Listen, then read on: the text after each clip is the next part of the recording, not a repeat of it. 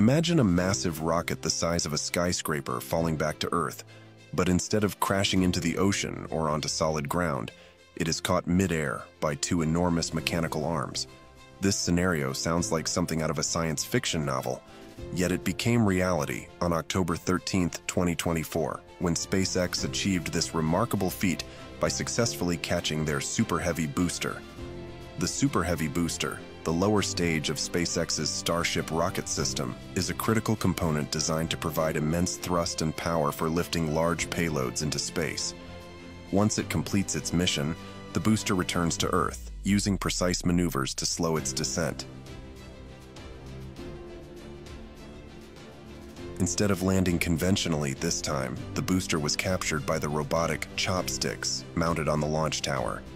If rockets can be launched, recovered, and reused quickly, it opens the door to more frequent missions, bringing us closer to creating sustainable settlements on other planets.